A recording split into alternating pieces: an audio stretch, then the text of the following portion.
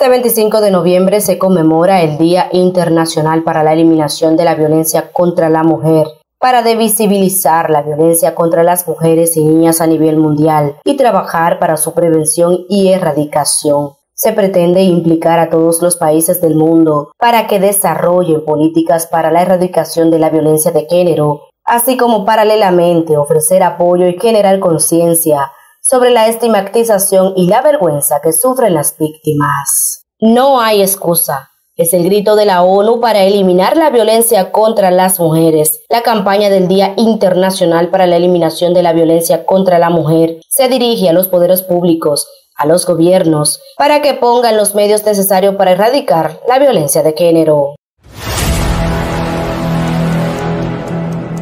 Usted acusado Jean Alain Rodríguez Sánchez no nos va a chantajear ni a intimidar.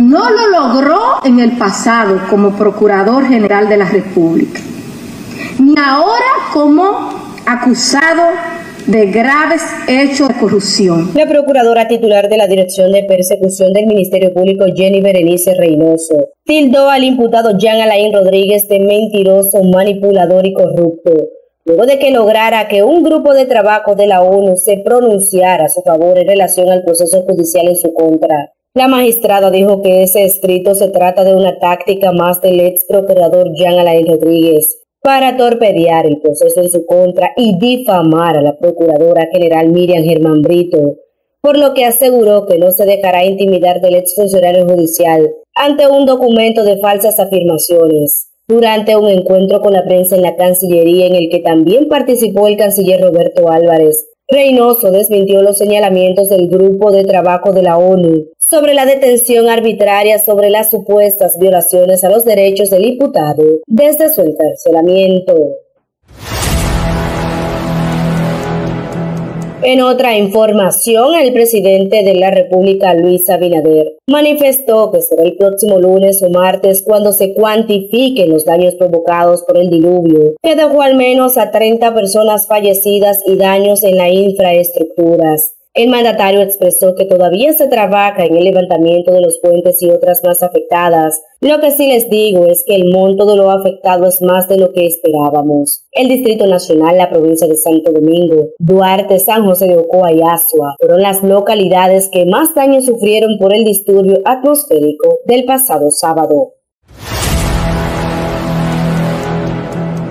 Cambiando de tema, la Dirección General de Contrataciones Públicas anuló el procedimiento de licitación pública realizada por el Instituto Nacional de Tránsito y Transporte Terrestre Intrant para la instalación de la red semafórica del Gran Santo Domingo. Así lo informó el órgano rector que anuló el pliego de condiciones y por consiguiente el procedimiento de licitación pública nacional. Esto debido a que se identificaron violaciones a los artículos 21 y 25 de la Ley 340-06 de contrataciones públicas y 88, 91 y 94 de su reglamento de aplicación. Las irregularidades se constituyen en violaciones a los principios de participación, proporcionalidad, igualdad y libre competencia de la normativa de compras, así como de los principios de racionalidad y debido proceso de la Ley 107-13. El viceministro de Salud Colectiva, Eladio Pérez, dijo que las autoridades sanitarias no están ajenas al brote de neumonía no diagnosticadas en menores de edad aparecido en el norte de China, pero aseguró que no hay que alarmarse ya que no se ha detectado novedad. No obstante, aseguró que dan prioridad a la prevención de enfermedades que pudieran incrementarse debido a las inundaciones recientes producto a las lluvias en el país. Pérez explicó que no hay nada certero sobre ese tema, ya que está en proceso de investigación, pero el país está atento a cualquier eventualidad que informe la Organización Mundial de la Salud, la OMS.